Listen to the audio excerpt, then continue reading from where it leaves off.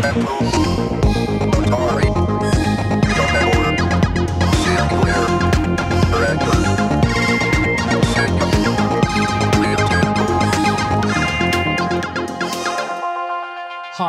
welcome to another Retronaut video. Well, this has been a, uh, as the Americans like to say, a journey. And it actually was a journey because I set off on a, what, two and a half hour drive up to Worcester, um, which may seem like quite a small drive for people in other countries, especially the US, where it's, you know, you, people drive for days and days to go to conventions. But in the UK, that's a reasonably good drive when I got to see the hoard there, you know, all the different things that I was buying, um, in the center of it was this gem, the Amiga 4000, the machine that I had in the 1990s. And unfortunately, I had to give up for professional reasons. Um, so yeah, you know, this was kind of righting a wrong that happened in the past. Um, I didn't want to give up that machine, but you know, uh, I was a young professional at that time and I had to practice my trade, uh, 3D graphics. So I had to get a PC to, you know, practice 3D Studio on. That was just the way it was back then. I got the machine back here. I was worried about what was, you know, I was going to find when I got back here. And unfortunately, what I found was a broken machine. So when you start above an Amiga and it's it's got a black screen, that's a really horrible situation to find yourself in because you don't know what's wrong with the machine. You can't tell if it's the CPU or any of the other chips or anything like that. If you have like a green screen, then you know that you have a problem with your chip RAM, and that's easily you know addressed. You might have to fix some of the RAM in the machine. In this particular case, um, I didn't have that problem. I just had a black screen. And um, after cleaning the machine and you know fiddling around and making a few changes, I actually got it to uh, get to the boot uh, screen. So I plugged in all the devices uh, and eventually got it booted up. And um, I thought I was scot free, but then I noticed there was a problem: no fast RAM. Then obviously uh, life interjected. I had a problem with my kitchen, had to get that sorted. That took uh, quite a lot of uh, time and effort.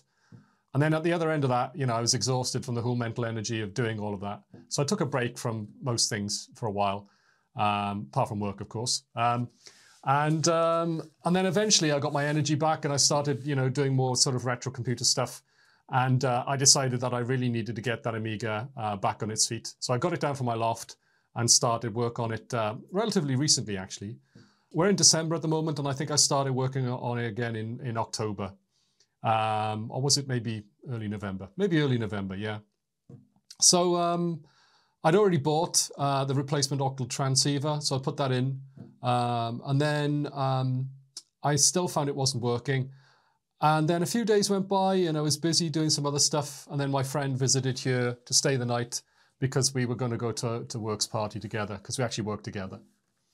And uh, during that evening, we used a new oscilloscope that I just purchased uh, just for this purpose. And uh, together, we managed to work through the problem and eventually we got the machine working. FastRAM was working again. We obviously had a problem with the, the SIMMs. Two of the SIMMs had gone bad at some point, and that was probably giving us a false negative for quite a long time, actually. We didn't really know and I think it was just lucky in the end that we just swapped the chips around and you know used another chip. And all of a sudden, bang, we saw the signal uh, on the other octal transceivers and we realized that the machine was working. So what are we going to do in this video? Well, we're going to put the machine back together. Uh, we've got all the parts ready, really. But before we do that, there is one thing I want to do. Um, I did point out that on the CPU daughter card, there are some chips on there, GALs, and uh, they actually, as far as I understand it, do the bus um, arbitration with the CPU. I actually learned that the other day watching um, a lecture by uh, the guy who makes the TerribleFire accelerator. It's really interesting. And he was explaining how he had consolidated all of those GALs down into one, I think, he, I think it was a PLD, some kind of prog programmable chip. And he uses that to basically uh, consolidate um, everything that he wants to have in his, uh, you know, in his accelerators. So that was really interesting that you had all these GALs in the old um, CPU daughter board, but he'd actually managed to con consolidate all of that stuff down into one chip. In the old technology, those chips, whatever they're doing, they must be running super fast. And uh, a couple of them seem to have a huge amount of data going through them and a massive amount of activity. And uh, they're running really, really hot. Um, they're literally the hottest thing uh, in the machine. Um, so I didn't think that made sense. You know, there's a massive heat sink on the CPU itself, but the GALs are just uh, sat there um, roasting away, and uh, they're actually custom programmable chips. So if they break, um, I'm going to have to get replacements for them and somehow work out how to program the replacement. So that's a bit of a nightmare, really. Um, so you definitely don't want that to happen. So the first thing we're going to do is we're going to put some heat sinks on those GALs. And once we've got that done, we're then going to get the main uh, chassis and start putting things in. I know from taking this machine apart that it's a bit of a nightmare to uh, take apart, and I'm pretty sure it's going to be just as bad to put, put back together. Um, so I'm kind of, you know, girding my loins and just uh, ready for a bit of a struggle with this machine. So anyway, let's not delay any further. Let's get uh, CPU daughterboard out and get those uh, GALs uh, heat sinked up so they uh, don't uh, expire in the short term. So during the series, I mentioned that the um, the GALs, I think they are, um, on this uh, CPU board are running hot. Um, so I did a bit of an evaluation off camera, left the machine running with a game running, I think it was Xenon, and uh, I just waited for a few minutes for the um, the chips to get up to temperature and you know just to get a, a decent idea of how hot they run. And I found that this chip, this, this, and this, they were the hottest ones. Well, when I say they were the hottest ones, there was a big difference actually. These were all sort of mediumly warm, Nothing really crazy going on. Same here. Uh, this one and this one were really quite hot, as was this one. This one was really quite hot, and this one wasn't so bad. This one wasn't so bad. I've got these heat sinks. Uh, they're not the right size, really. Um, these ones are actually more suitable, I think. I've got two of these, and I've got four of the big ones. Um, I was thinking about putting just the big ones on everything, um, but I actually think what I might do, hmm, I don't know. Uh, Obviously they're too big, but um, I do have some thermal paste here, but these ones actually have uh, sticky pads on the back. Um, I think honestly that one of the things that's the problem with these um, chips is that they have these stickers on them to show you what they are. And obviously the glue and the um, the paper itself is, is uh, an insulator, isn't it? Um, so that's not going to be helping them cool down really. So really what I should do is just take the um, the stickers off everything. I, I won't do that right now, but I am going to take the stickers off these four here, um, and then I'm going to put these heat sinks on. And I think I'll just use the same four large ones actually, just to keep it looking uniform. Um, as I said, I only have two of the small ones, and as it turns out, I've got four big ones, so I think they'll work perfectly. So let's see if we can get these off. I'm going to just use a little bit of alcohol to try and give uh, a little bit of um, solvent not sure if this is the right type to be honest, but anyway, let's try and get that on there.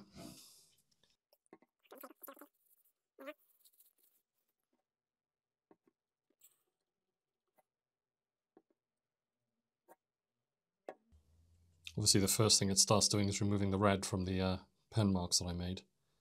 So obviously I need to remember which is which.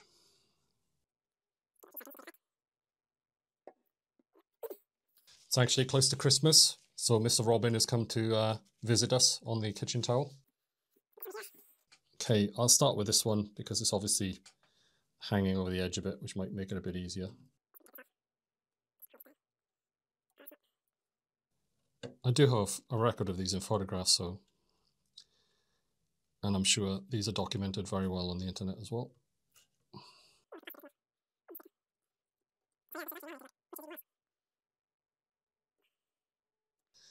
There we go. Now next we need to put some more alcohol again. What we want to do now is try and get these, this adhesive off if I can.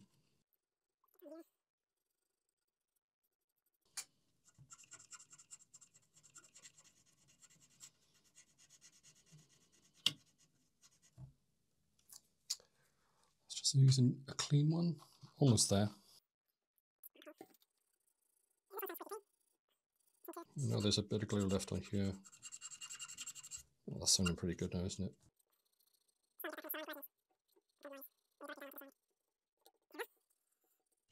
They're all clean.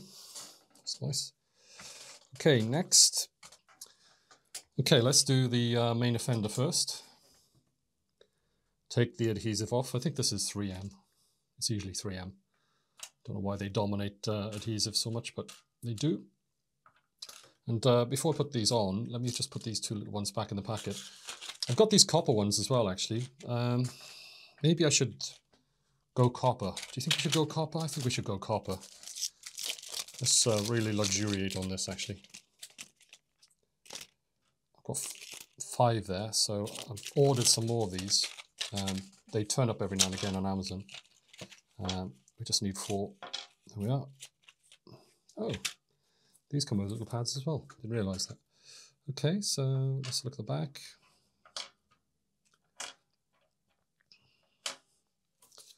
Let's get the pads on. Oh, looks like it's uh, the adhesive there. Let's try and get this on here.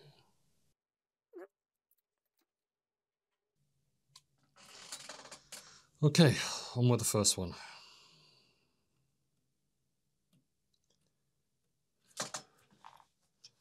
Wow. Looks like a crown, doesn't it? Copper crown of glory. Or am I getting a bit Christmassy here?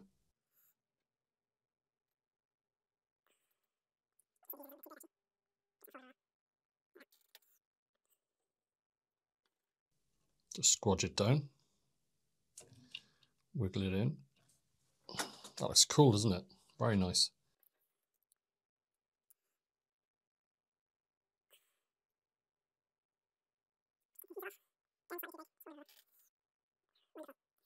Glad I've gone with copper. Really does look fantastic. A little bit more expensive, of course, but makes sense on this machine.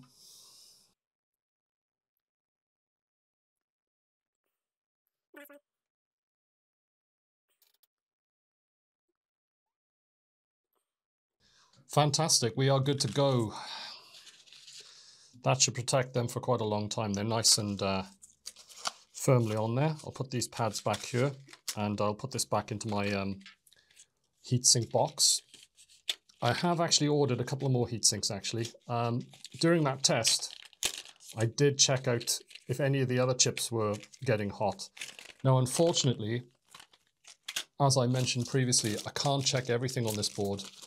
And the reason for that is that um, some of the chips are actually obscured by the CPU daughter board, and that's just the design of the machine. There's nothing really much we can do about that. Um, I'm talking about the chips under here, the ROMs, uh, and the Ramsey here. I have to assume that if you had a, a massive amount of uh, RAM action going on, the Ramsey might get hot, right?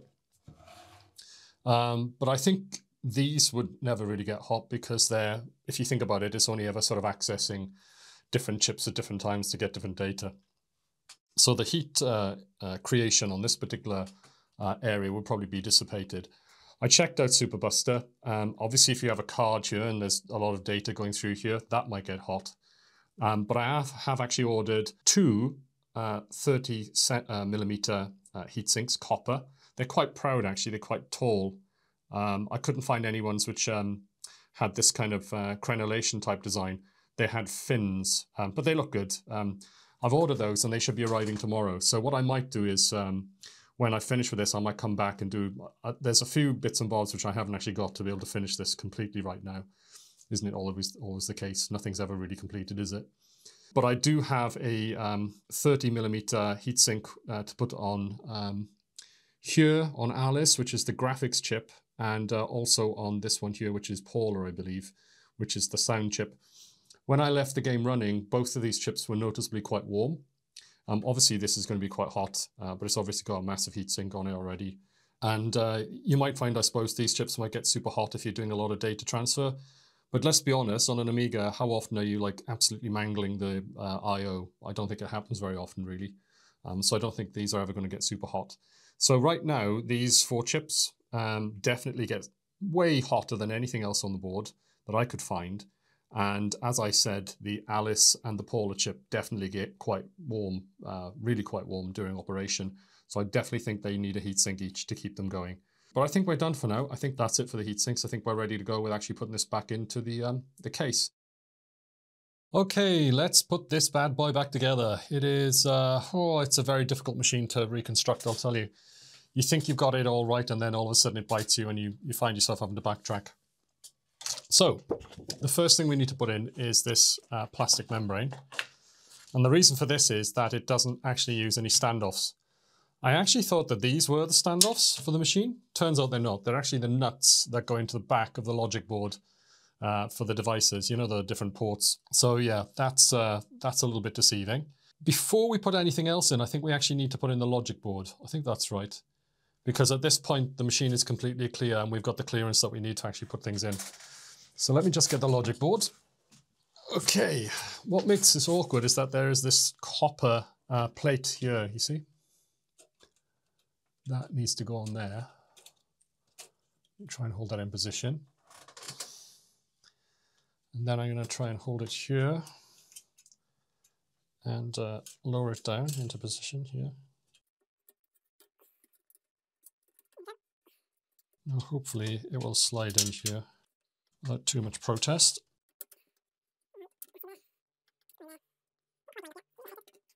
Looks okay in the back. But, um, oh I see, just needs a bit of pushing to get into place. Let me put a screw in there, in the center. Hopefully this one will fit. I've got a lot of these screws, they're kind of very similar. They all look kind of the same. I'm hoping that this is the right size. I mean, to be honest, how many of these would you need really to hold the board in place? It's not going to go anywhere, is it? But uh, I've got a few of them, so let's use them up. I'll make sure we have a few spare just in case at some point we find out there's something else. Now thinking ahead, I have to put the floppy uh, bay here. Are there any other screws I can get to? This one is very awkward. That one I could probably get to. So just put one more here. I think that'll be enough to be honest. It's held down very well.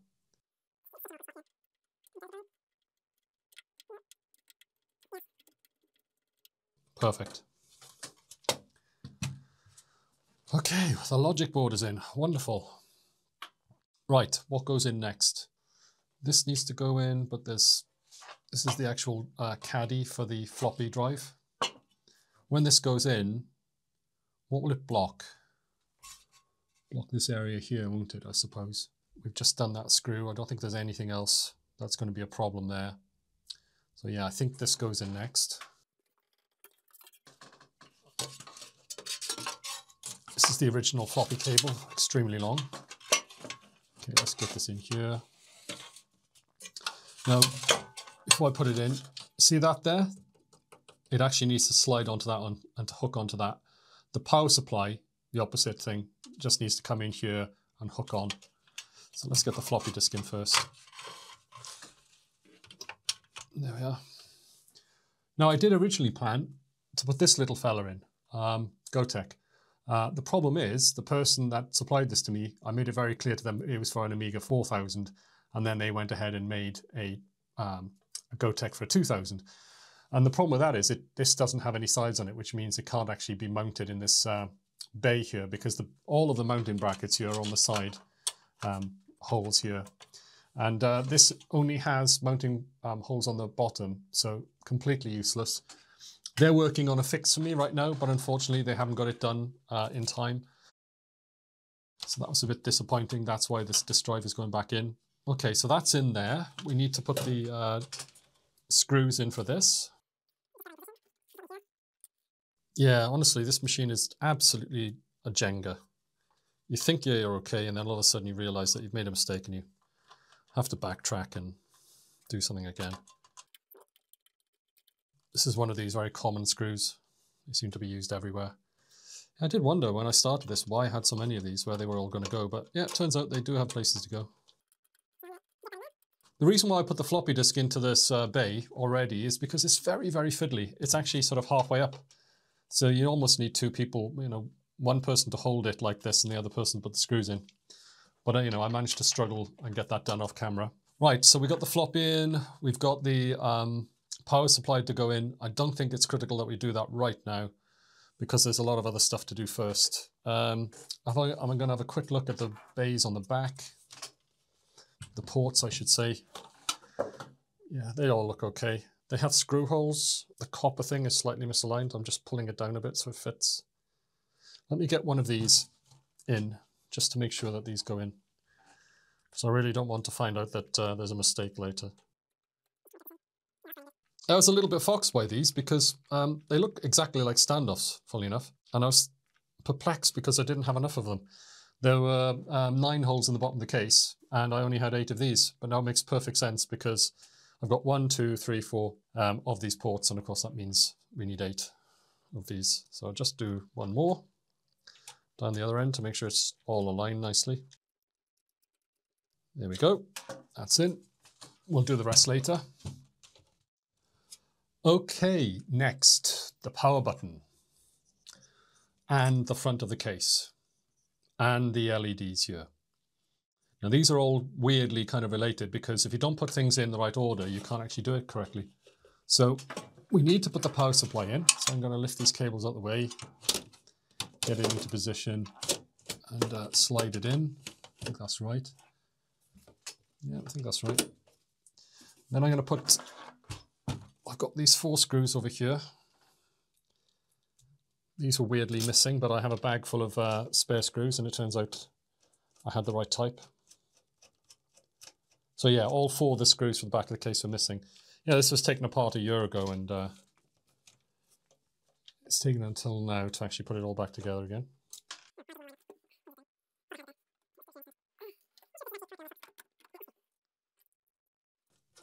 There we are, that feels better. Good. Okay. That's held in position. So, next, the power button. Did I just make a mistake? Uh, no. Oof. This is what I mean. You know, you put something in the wrong order and you suddenly realize it.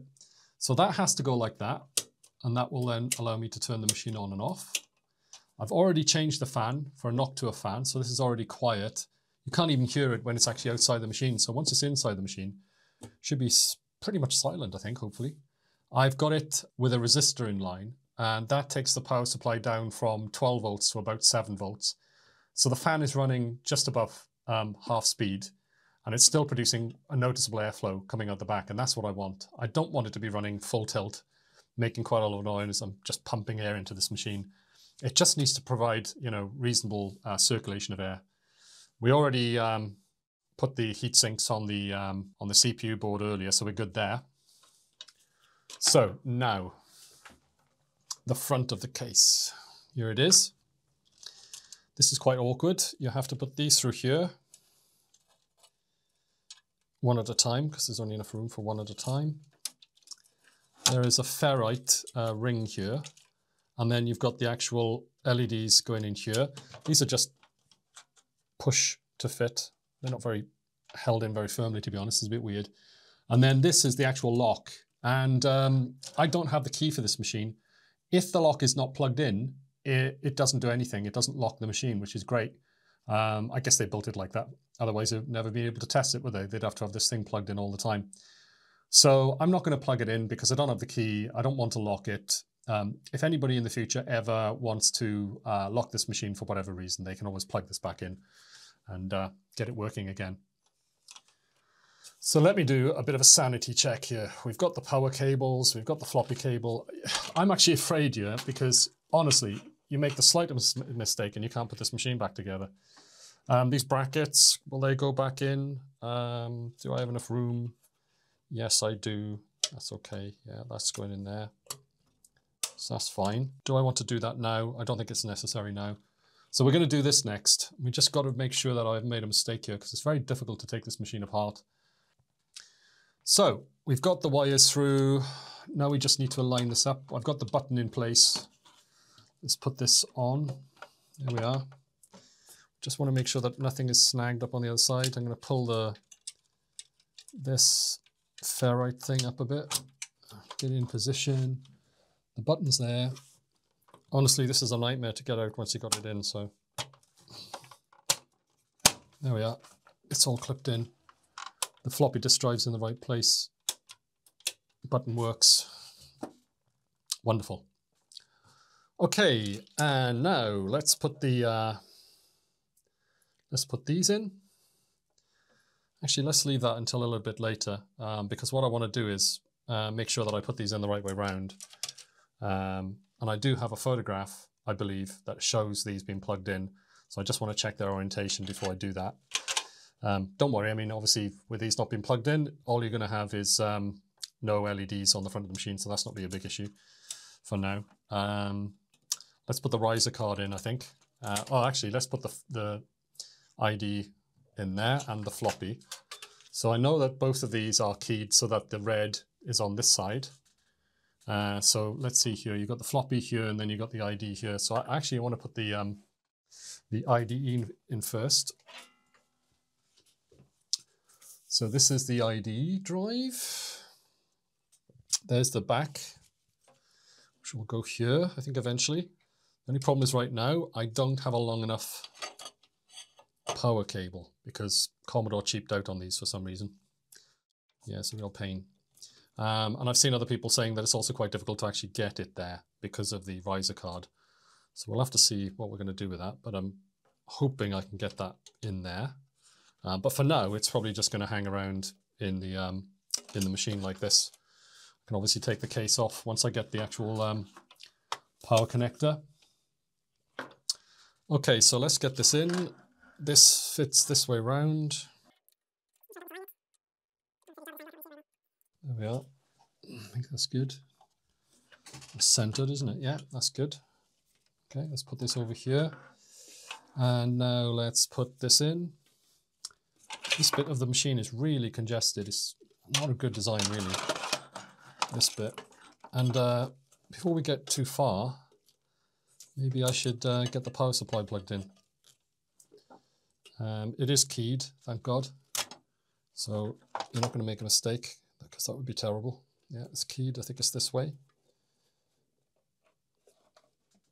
There we are. It's plugged in. Okay, yeah, the floppy. That looks good. Uh, we need to put this here and maybe like that. There we are. It fits reasonably well. Stopping some of the airflow a bit really, isn't it? Is there anything else wrong with this? No, I think so. I think we're all good. Okay, so now we need to put in the riser card.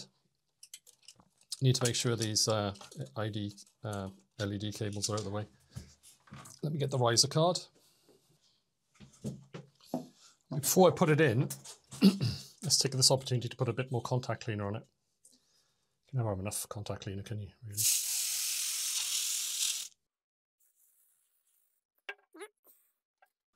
Goes in this way, facing towards me. This is going to be difficult to go in, I know that. Generally requires a bit of uh, effort. So it's gone in one end. Take it back out. Let's try the other end. Okay. There we go. It's gone in. That's good. So look at this bracket. Let's see what's going on here. Okay. it does have, it's not really clear which way around this should go. You know, it kind of fits in both orientations really. There is a, a space here, and the way I understand it is that's meant to allow you to put things like this through it. That's the idea. So you would put your power cable here, if it's long enough. Um, and yeah, you can put your IDE cable through. Um, do I want to do that for now? No, let's not do that for now. Let's just leave this over here for now. So I want to put it somewhere where it's uh, a bit nested. Um, but we are going to look at this. Does it make sense this way? I don't think it makes much difference. I think this is actually the way it should go because this lines up better with this and allows the cable to come through, I think. Um, I put these screws here for safekeeping. So these are actually meant to go on the ends here, like this.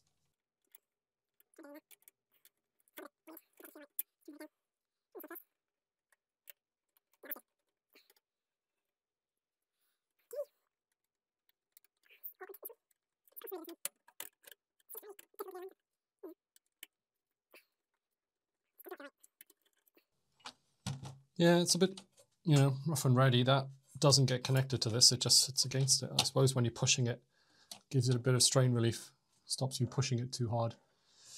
Right then, um, excuse me for a second. I'm just going to find out the correct orientation for these cables. Now I'm going to plug it in now because it's in a quite a hard place to reach. I want to get it done now while we can. Okay, for each of these, the connection is black away in this direction. Uh, same thing for this one. So I can see that the furthest one away is the disk. This, this is the HD, so this is the disk one. I'm just going to get this in there. Okay, in position. There we are, that's good. Okay, where were we? Um, let's put these in, these three brackets. We've now got the uh, LED lights plugged in. Just to put these in position. They're quite tight on this end, these. There's a small hole about exactly the same size as the clip. But weirdly on the other end, the hole is much bigger. So it's quite loose there.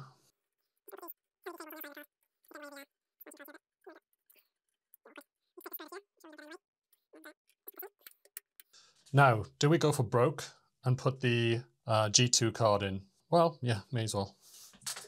In for a penny, in for a pound. So it's literally been a year since this card has actually been in this machine um, like this. See if we can get this in there. Sliding in okay so far.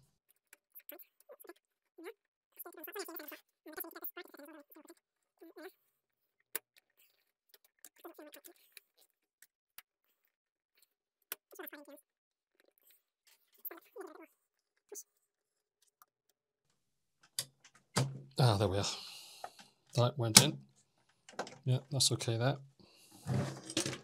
So next we just need to put the, uh, the plate screw in here.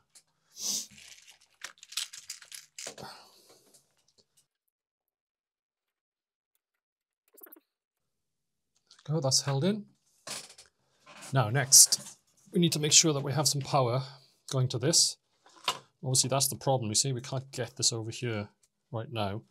Hopefully when we get the extension cable, we'll be able to do that.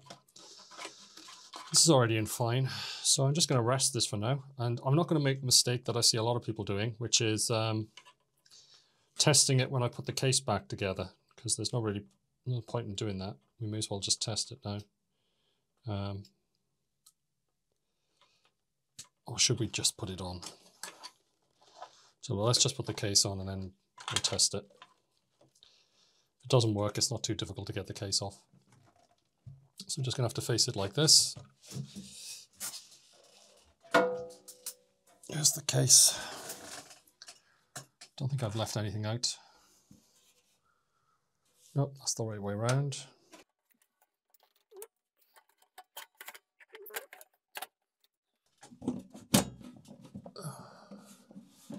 Oh yeah, that's right, it has side tabs. That's why when I got it originally, it wasn't actually put together correctly it wasn't slid in here correctly. There we are. I've got some screws here. Hopefully these will work. Okay, all I need to do now really on the back here is um, I've got these nuts to put in here. Um, so I'm just going to do that now. Just use this driver, get those done out of the way. Don't think, hopefully there's any problem with this. So you never know. Could have gone backwards when I put together. Fingers crossed that hasn't happened. That'd be horrible.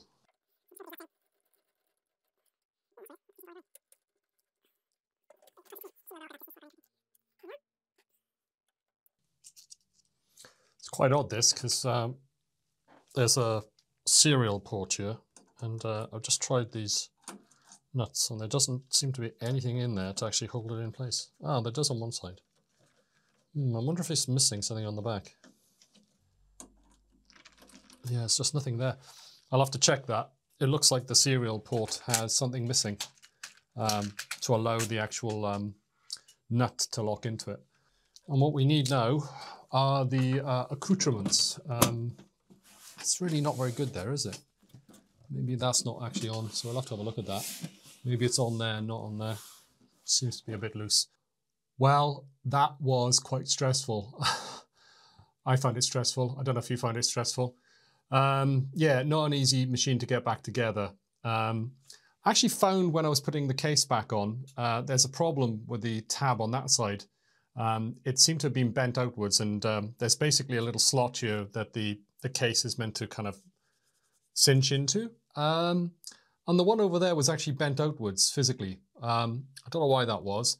The other thing I found weird was I was very difficult to actually get this to fit on unless I took the nut off the uh, the mouse port, the left hand, um, well, the, the, nut closest to the camera. Um, with that there, I just found it basically impossible to actually put the case back on properly. I don't know. Maybe it um, uh, it was just an issue at the time, and um, maybe that was a common feature on these cases. I have no idea, to be honest. Um, anyway, everything's back in the box. There are some things remaining to be done. Uh, I've got a couple of heat sinks coming, and I'm going to put those on, um, I think it's Lisa, or is it Alice? Maybe Alice. Yeah, Alice and Lisa. Uh, sorry, Paula. Or is it Lisa? That's confusing. Um, yeah, basically the graphics chip and the sound chip. Uh, they do get quite warm, and uh, we may as well protect them for the future. So I've got a couple of copper heat sinks coming in, um, which are exactly the right size. I don't have them right now.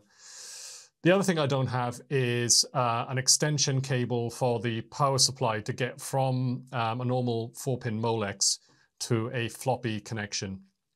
When they built the Amiga 4000, they made, they made the floppy connections basically just about the right length to fit onto the floppies, which is not really that surprising, is it, I suppose.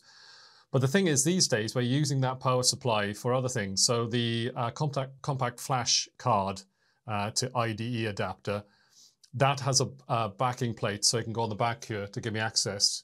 And um, the floppy, it needs a floppy connection um, to get its power. And I can't get that over there. It's just never going to reach. So I have to wait for the um, extension cable to come along. In the meantime, I've tucked it inside the machine on top of um, on top of the floppy cable itself, so it should be insulated. Although, yeah, I should be careful not to move the machine around too much, otherwise it might um, touch metal.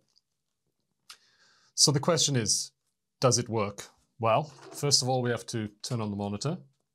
Let's just wait a second for that to start up. There we go. Um, press the power button. You can hear the fan.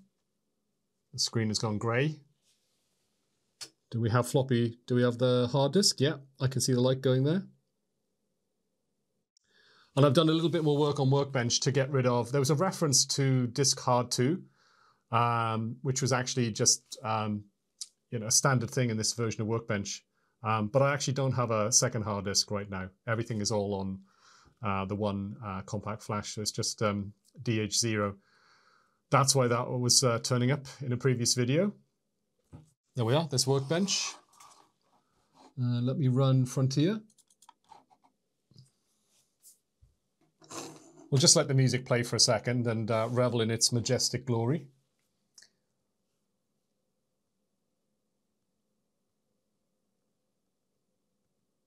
Always think there's no sound on this game when it starts like that. Ah, there we go. Here comes the sound. If you ever played this uh, game on a, an A500, it absolutely crawled along. Um, this was where you really started to see the age on the Amiga 500.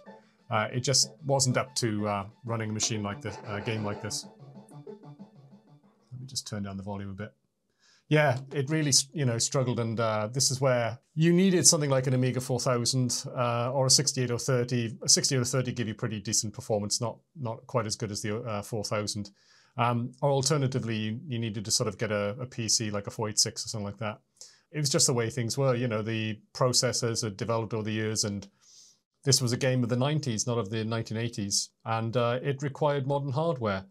Um, even worse than this was the sequel to this game, Frontier First Encounters. That actually had texture mapped polygons. And uh, to be honest, um, Silicon Graphics Workstation would have struggled with that, I suppose. So yeah, that was just the way things were. Um, but the Amiga 4000 handles it with aplomb. It's uh, running very, very smoothly. Um, yeah, it looks really, really great. Uh, this isn't actually the end of the journey. Um, it's the end of uh, getting this machine back on its legs. I'm not sure it's 100% perfect yet. I've noticed some weird things like um, when I when it came out of the loft after a year, um, it was actually black screen for about three or four days, and I was just absolutely perplexed why it was black screening again, considering it was working when it went up the loft, and it was actually coming up with the um, the ROM, you know, the bootload uh, screen at the beginning, um, and then it just sort of fixed itself. That's always worrying when you get that. Uh, it could be that one of the chips in here is marginal, um, maybe something to do with heat. Maybe it's kind of odd that the more it was used, it actually seemed to revive it. Um, so yeah, I'm not really sure what's going on there. I mean, right now it's working fine, um, but I'm pretty open to it having issues in the future. You never know. Maybe there's some underlying small problem which needs to be fixed.